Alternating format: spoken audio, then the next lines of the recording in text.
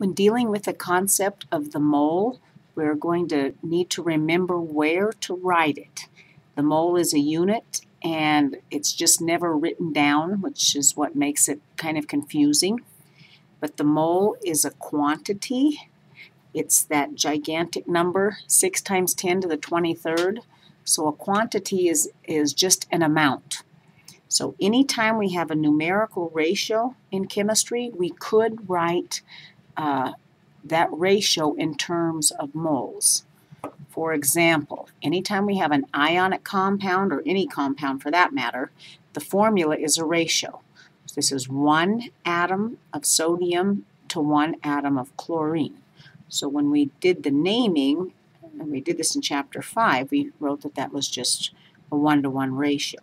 We could say there's one mole of sodium for every one mole of chlorine atoms. So we could insert the word mole there.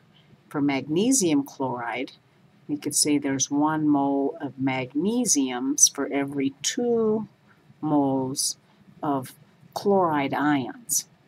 This is um, an example of where we can write the mole. It's just not common. A very common example where we are going to need to remember to write the word mole is in a balanced equation. This is also a numerical ratio. There's four irons for every three molecules of oxygen to make two uh, Fe2O3 compounds.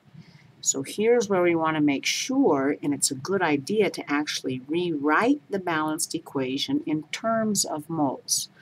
There's four moles of iron and three moles of oxygen, and we make two moles of Fe2O3. So remember, the balanced equation ends up being like a recipe. So when we make something, or even when we're looking at an equation written down as though we were going to prepare something, the recipe is always in moles. So if we, we either need to remember that or it's an even better idea to actually write that down. So we'll use this to convert, for example, from iron to O2 or from iron to Fe2O3. So just like all recipes, we can use any uh, a multiple of this. We could have 8, 6, and 4.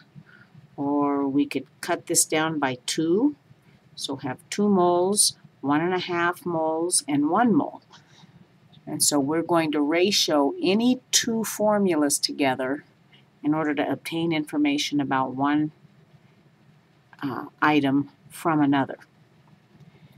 Another common way that we're going to use the mole is in the molar mass. So it's a very good idea to know this definition. This is the mass in grams. That's very important. The mass is in grams of one mole of anything. So here is where we're going to use the periodic table and depending on the formula we're going to calculate the molar mass. So we could do this for water, H2O. We have two moles of H or just two H atoms and one O. So we're going to look on the periodic table and find hydrogen and it's, well, that's not where the number's going to be. On our periodic table, the mass is going to be at the bottom, so 1.008. And then if we look at oxygen, element number 8, we're going to see this number down here. So that number is the atomic mass,